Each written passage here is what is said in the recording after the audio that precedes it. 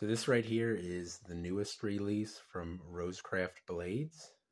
And this is the Rosecraft Blades uh, Nolichuck, Nolichucky Jack, something like that. N O L I Chucky, Nolichucky Jack. Um, according to the designer Annie Andy Armstrong, I think his name is. Um, it's based off of an old uh, IXL pattern.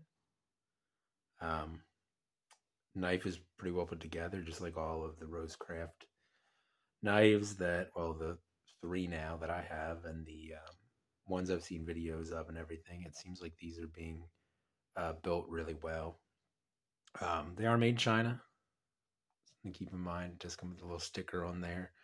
Uh, I was watching Logan's Logan over there at Knife Thoughts. I was watching his video and he said that he doesn't like the sticker. I also don't like the sticker. I wish they would just put it on the blade, like stamp it or laser etch it or something.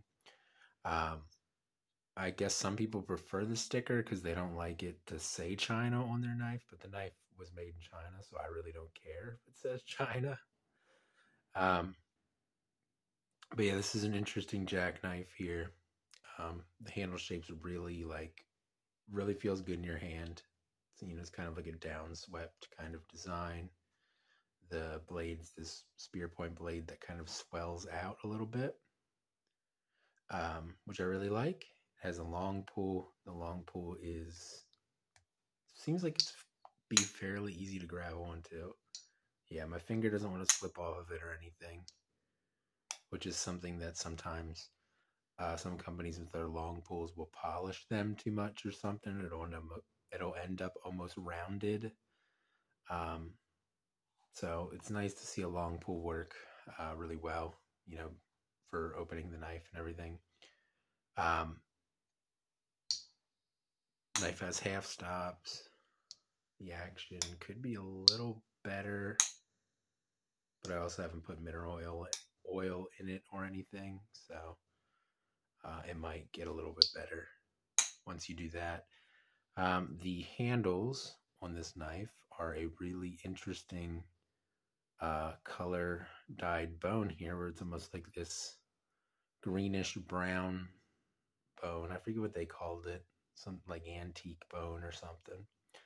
But it's really like uh, like a greenish brown color.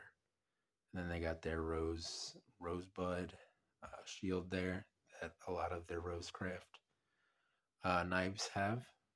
Uh, nickel silver pins or steel pins, I'm not sure which. And I think the bolsters are stainless steel.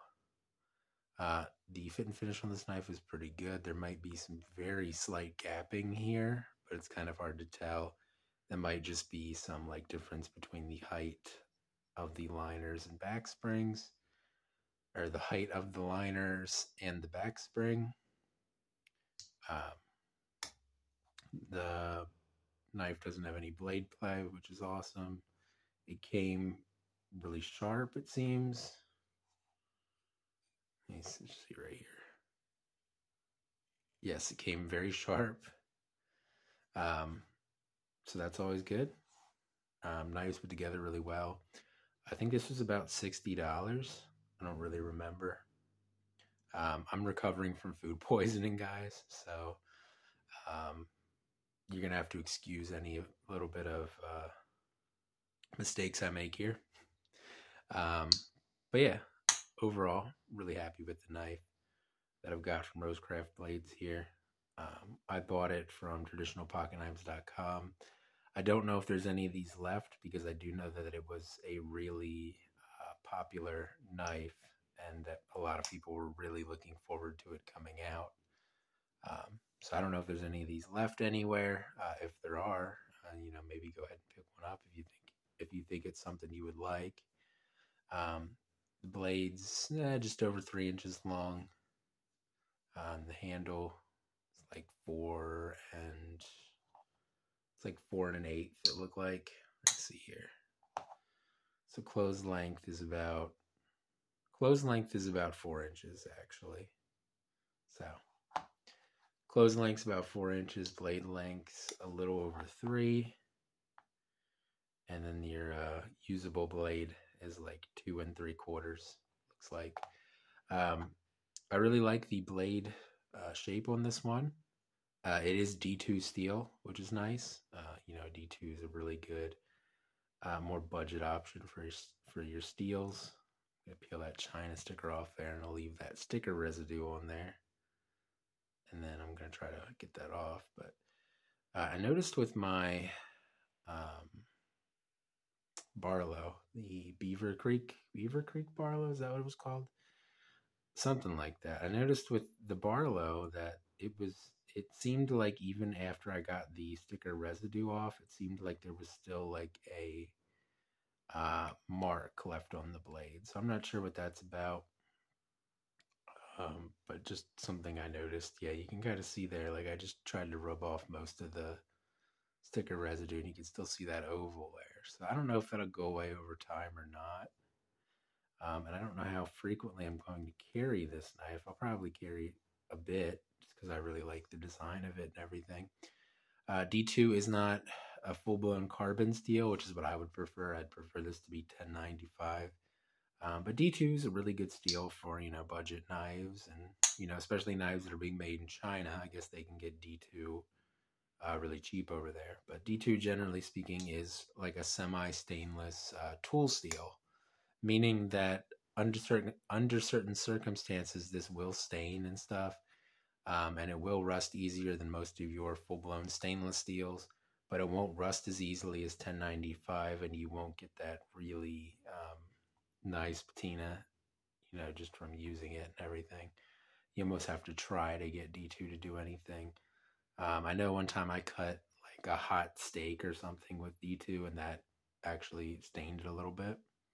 Um, so you can do it and I'm sure certain types of D2, like certain companies, D2 stains better than others.